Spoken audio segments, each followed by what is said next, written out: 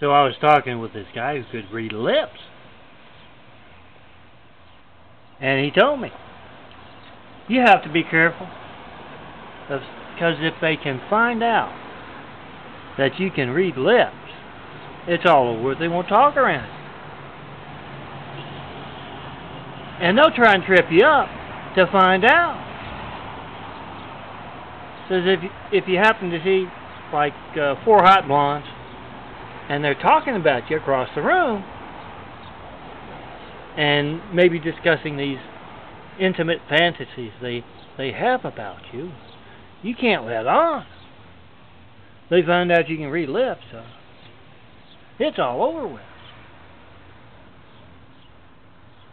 And I kind of know how he, I can't read lips, but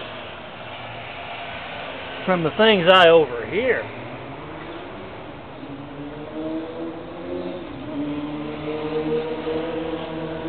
mostly, you know, girls arguing about what's better. Stone Cold's dome or his legs.